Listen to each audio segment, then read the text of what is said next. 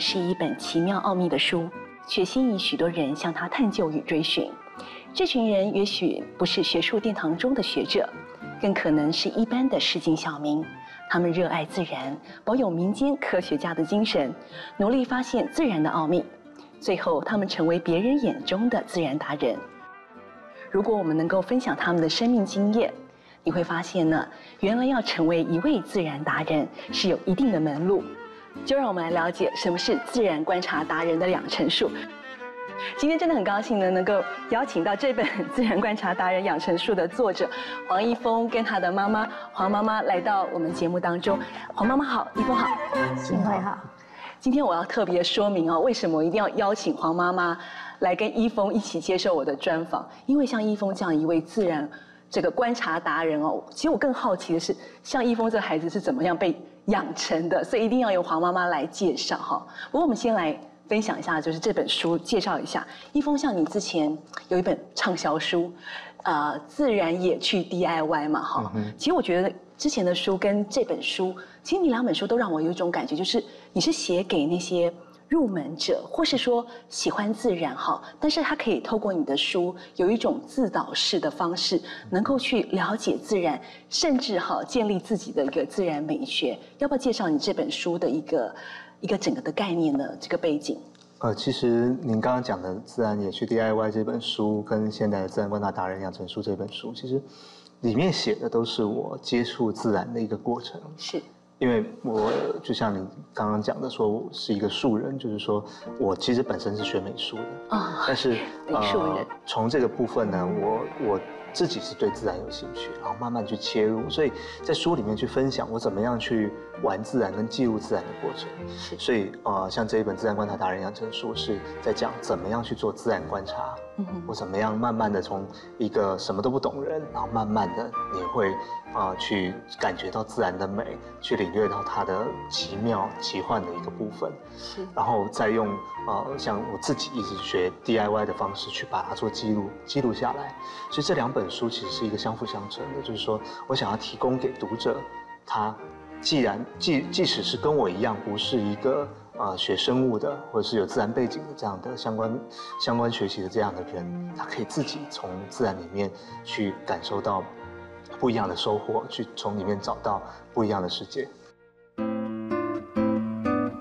在我学习自然观察的过程中，我深切的感受到，自然观察是一种习惯，而不是一件特意去完成的事。但每当我亲身带领大家做自然观察的时候，才发现养成自然观察的习惯好难，因为每个人看到一种特别生物时，第一个问题多半是问这是什么。大家都希望知道它的名字，但几乎没有人仔细的观察和欣赏它的模样。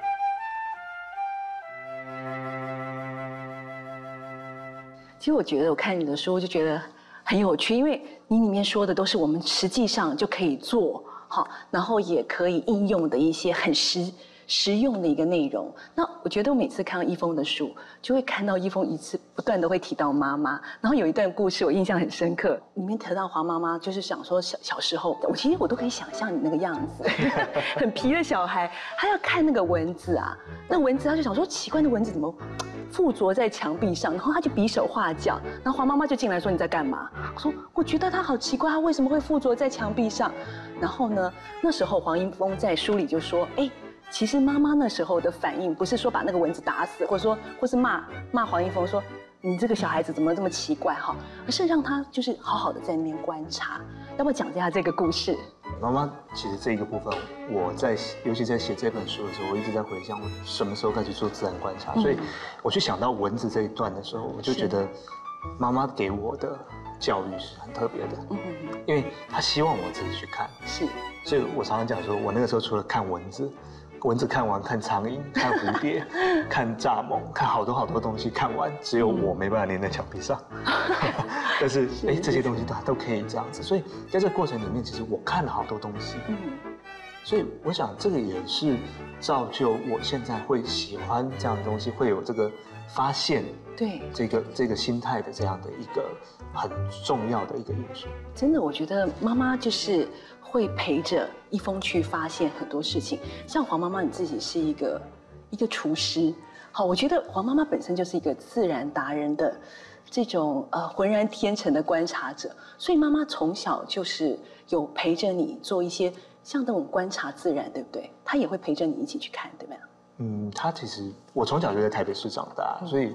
好多人以为说我是在乡下，在哪里长大？不对，我就是在台北市，所以，我就是一个全然的都市孩子。嗯，但是妈妈其实是在在这个南投的山的山上长大的。嗯哼，所以其实他对于自然，他有有一番的喜好，或者是说，他就觉得自然，我人应该在自然里面。那很有亲和力。对，所以所以只有在这个假日的时候，她能够说。哦，就带我们去公园，因为都是孩子嘛，你不可能每天都接触自然。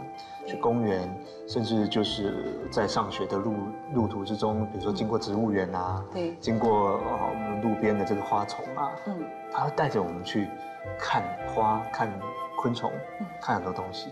那其实他不会告诉你那个是什么，因为其实，在知识上面，其实他没有那么充足的的这个生物的知识，嗯，但是他会告诉你说，哎，我们去找这个东西。学会分辨色彩，可以让你看透大自然要传递给你的讯息。例如，树上结的果实由绿转红，这表示我们有香甜的水果可以享用。像平常体色银灰的溪鱼，到了繁殖季节，雄鱼身体开始显现出鲜艳的蓝绿线条，再搭配上体侧亮黄色的色泽，这就是所谓的婚姻色。谈到观察哈，当然不从不仅是从我们生活开始，就是我们如果走到野外来讲，像一峰的书特别谈到说，你要成为自然观察达人，最重要就是要开放五官哦，这个五感好，眼耳鼻舌口，然后如何去透过这个五感去进行这样的自然观察呢？嗯，其实我们常常开玩笑，我演讲的时候常常开玩笑，因为呃，我们常讲到说，我们都用什么样的？感官去体验大自然，嗯哼，你知道最多的是什么？嗯，就是吃味觉。很奇怪啊，我们体验大自然不是用说好不好吃啊，能不能吃啊？大家都会很正常的跟你讲，我们用视觉。但是我提到说，你用视觉，你真的有体验大自然很多吗？你跟大自然接触最多的应该是味觉吧，所以大家都会会心一笑。所以这个是从远古时代，我们就要从这一个吃这一个点去了解。所以你必须要知道这个东西能不能吃，它熟了没？嗯，它是不是是不是到了可以吃的这样程度？那我们要从颜色去判断，或者从它的形态去判断，所以这就是一个很重要的一个自然观察过程啊。所以我们在在这个体验大自然、接触大自然，其实吃虽然占了很重要的一个部分，但是我们常常遗忘了我们应该有的本能。是。所以从很多这样的点里头，我也一直觉得说，自然观察它应该是把我们的开关打开。嗯嗯。好像除了吃以外，这是很重要的一个部分。视觉，我们常常在看到底要看什么。嗯。所以我们看生物，其实我们常常被生物的名字绑住。嗯。你常常就是一直在追究。其实我们在带活动的时候，我们常常就会遇到民众，第一个就看了这个植物，我讲半天讲好久，他还会问说这是。叫什么名字？哦，啊，第一件事，大家已经说这是这是什么？这叫什么名字？是。那我做过一个实验，我常常告诉你说这是什么，啊，名字告诉你啊。是。走到走一百公尺之后回来问他，哎，你记不记得前面那个是什么？嗯，通常都不记得。是。但他们都记得说，啊，那个是是很好吃的。啊，所以我们的记忆常常都是在吃这个部分，嗯，然后名字这个部分，眼睛看的部分，其实我们只有看到。我们希望只只希望认识它是什么呢？就常常讲说自然观察视觉这个部分，我们就是要去看它的形态、它的颜色，对它的有什么样的不一样的地方啊，然后啊，甚至它有什么样的行为。所以常常讲我们在视觉观察里面，我们可以观察这些生物的衣食住行，对，甚至包包括欲跟乐，是养育。跟他的乐呢，说可能他的活动，他的他的呃叫声，嗯，哦，这个部分我都把它归在里头，很好，去观察这一个部分。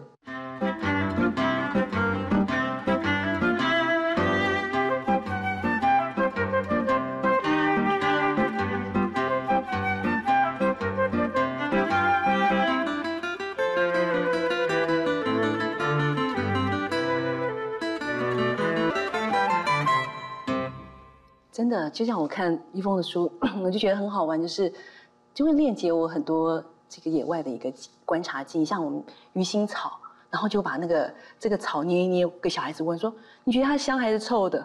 好臭哦！他说：“对啊，像不像鱼腥的味道？”哦，所以真实的观察要跟生活的体验或是真实的体验要链接在一起，对不对？我觉得一峰这个真的是很重要。是啊，所以所以其实我们我常常讲，就是我们都有具备这样的的的能力，但是我们开关都没有打开。对呀，所以常常我带活动也常常问大家说，走一条步道，我问他说，你们听到什么声音？嗯，每个人都是面面相觑的说，有吗？有什么声音吗？所以，所以，嗯，当当大家都静下来，我一提点之后，大家一听，你发现哎，有五色鸟在叫，有有蝉在叫，有好多生物在叫，所以听觉其实。也是很重要的。我们讲话，我们也常常每天都在听，但是你只听你想听的东西。没错。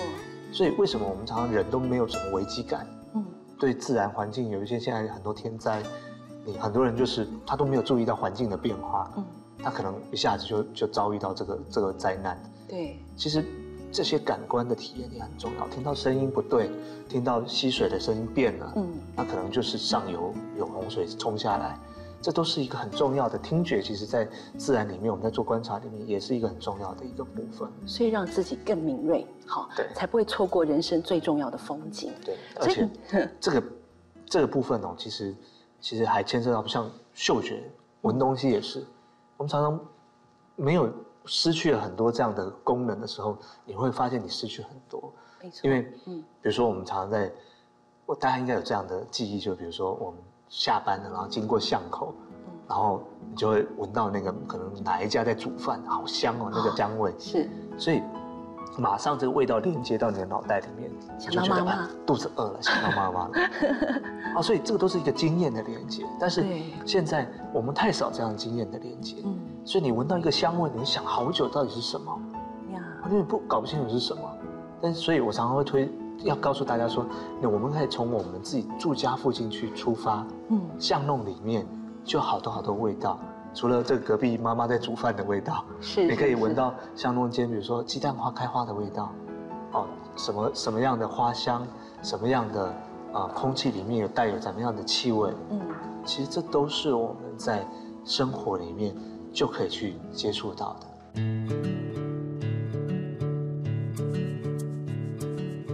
近年来，大家对于爱护生态的观念兴起，跟我们一起生活在都市里的生物也渐渐多了起来。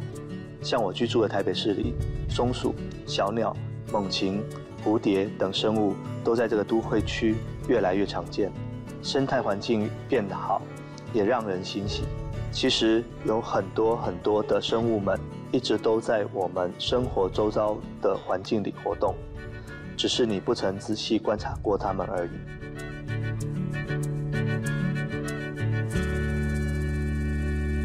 所以你这本书里面讲到各种生物，所以我觉得那是一个梦幻的一个大补贴。然后有哺乳动物，有鸟类、昆虫，然后其中谈到青蛙，我觉得你用青蛙讲的很好笑，就是其他的是日间不观察，然后青蛙是夜间不观察。夜间去观察青蛙，那台湾其实就有三十几种青蛙，好像比较容易成为这个青蛙的观察达人。要不介绍一下一些方法呢？嗯，我其实就是从青蛙观察开始，真的进入这个这个领域，才开始对大家各种东西都有兴趣的。对对，我看过你画的青蛙，好可爱。那其实呃，观察青蛙，我们就是第一个就是刚刚讲的晚上嘛，哦，晚上是它出没的比较高峰期。啊，所以我们在利用夜间的时候去找蛙类，其实是一个一个啊时间点的一个问题啊。是，你要抓对时间。第二个就是说，听音辨位。嗯，我们循着它的声音，刚刚讲到听觉，其实晚上听觉更是重要，因为很多生物它会在晚上鸣叫，像蛙类，它晚上叫的时候，我们从它叫的位置去寻找到它，所以这个都是找蛙很重要的一个因素。然后再来就是我们要有手电筒去照射，我们去寻找眼睛的反光，蛙类眼睛的反光。哦，所以在在这个过程里面，其实你要经过不断的练习。哦，像像前几天我我们到山上去找花，那其实有几个朋友大家一起，就听到一个啊，听到陈复苏啊在叫，哇，结果他咯咯一叫，对，结果每个人指的方向都不一样，可能到处都有，这就是不对，就是只有一只在叫，就一直在叫，所以这个就是，嗯，大家对这个东西的敏感度不够，嗯，我一听我说可能在比较高的，哦，自然，所以大家都在下面比较矮的地方找，嗯，那其实这个这个是我觉得是你的。感官的开启的的的部分，你有没有把它打开？因为，你当你练习多了，马上听到一个声音你就知道啊，这边的有声音，上面有声音，旁边有声音。但是，当你这个这个东西，其实你一直久不用，你就会迟钝。是是，这声音明明就有，到底在哪里？这个都是这是你的感官的一个部分。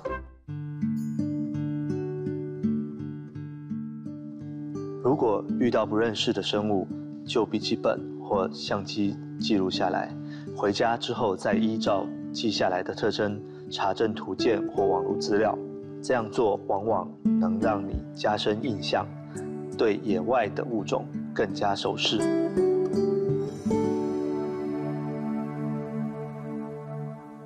真的，所以黄妈妈，你听到当年那个一天到晚在搜集。自然野物的这个孩子哈，现在变成一个自然观察达人。当你受到很多妈妈的影响，但是哈，一峰已经变成一个更丰富的人。他回过头来，其实也是会带着妈妈去观察，对不对？对。我觉得妈妈本身小时候可能你在带着一峰在鸡舍说：“来，一峰，我们听哪只是公鸡叫，哪个是母鸡叫。”可是他今天可以告诉你更多哪一只是青蛙，它的方向。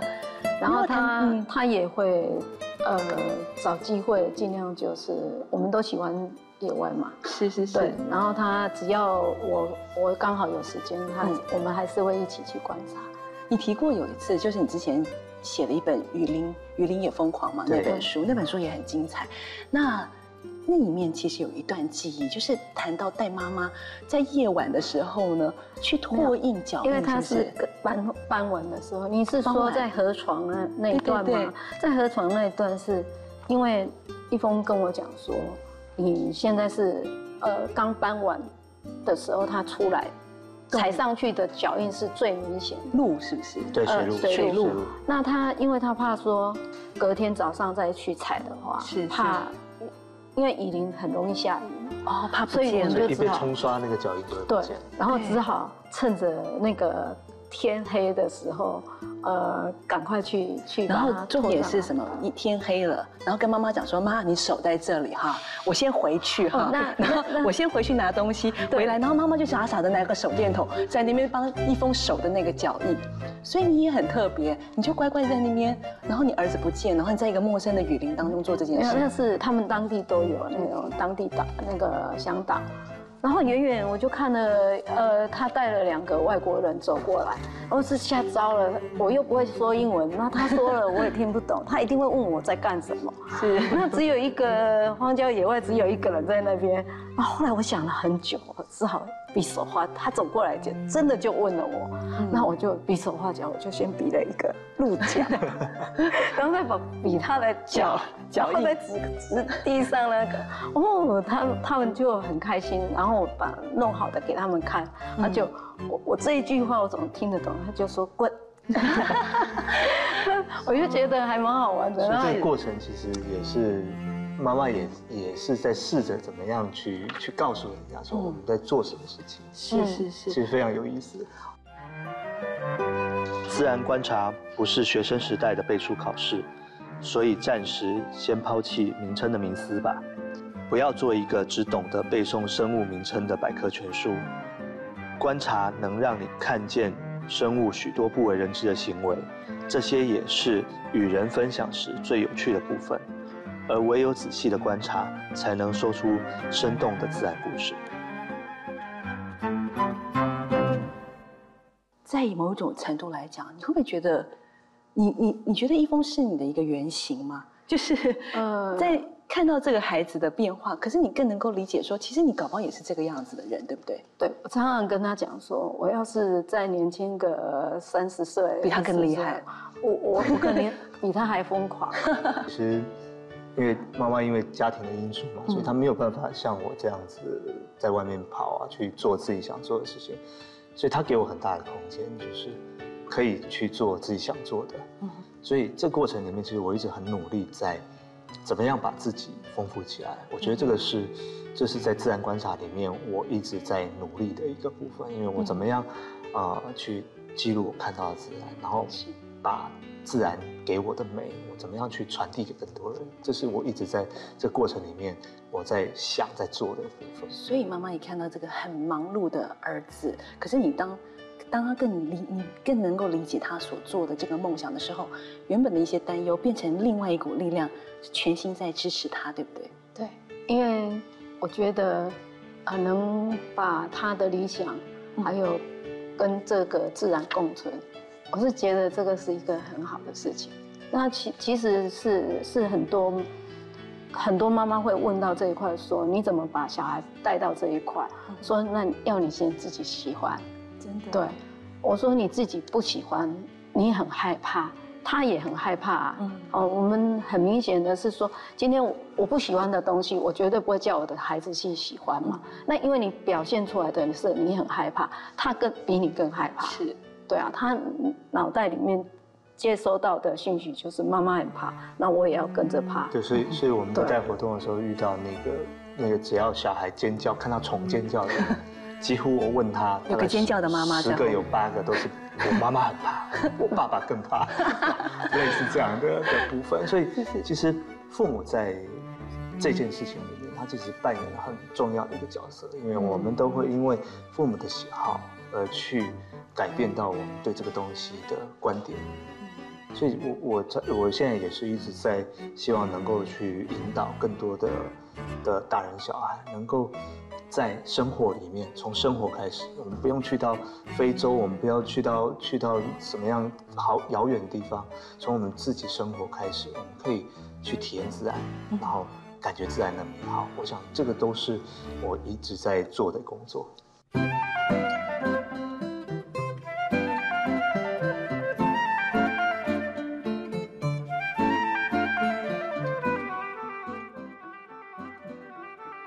不知道任何一位自然观察达人的背后，是不是都有一位支持自己、了解自己的母亲？但是我相信，要养成一位呢，啊，对生命有思考力的孩子，绝对需要更多父母的陪伴。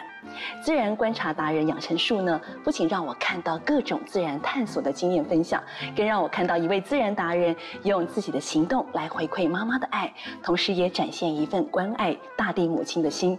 今天真的很高兴能够访问到黄一峰黄妈妈来到节目当中，谢谢你们，谢谢，谢谢，谢谢。